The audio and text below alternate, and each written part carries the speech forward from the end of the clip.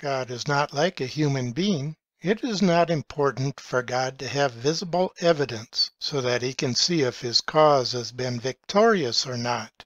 He sees in secret just as well. Moreover, it is so far from being the case that you should help God to learn anew, that it is rather he who will help you to learn anew, so that you are weaned from the worldly point of view that insists on visible evidence. If Christ had felt any need to get visible evidence, he certainly would have delivered a blow, summoned the twelve legions of angels. This is precisely what he refused to do.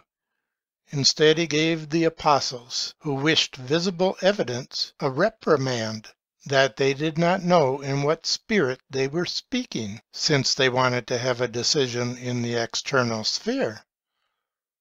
A decision in the external sphere is what Christianity does not want, except in so far as it wants to establish some sign that is an offense to worldliness such as, for example, the sign of a sacrament, to test whether the individual will keep the secret of faith and be satisfied with it. The worldly always needs decisions in the external sphere, otherwise it mistrustingly does not think that there is a decision. But this occasion for mistrust is a spiritual trial in which faith is tested. From the worldly point of view, a much more certain way of deciding it and of being altogether sure that a God exists would be to have a picture of him hung up.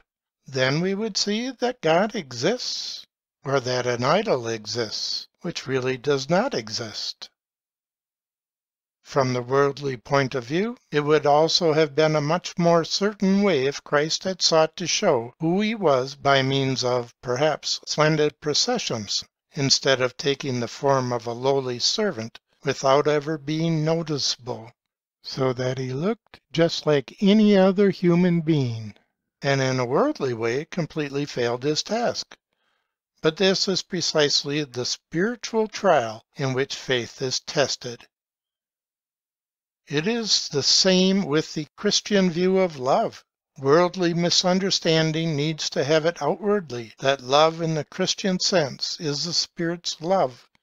Ah, but this cannot be outwardly expressed, since it is indeed inwardness. The world is always diametrically opposed. Where Christianity wants to have inwardness, worldly Christendom wants outwardness.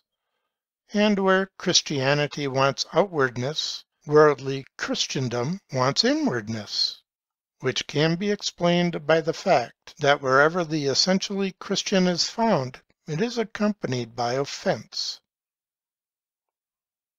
That was from Works of Love by Soren Kierkegaard, published in 1847, Hong translation, pages 145 and 146.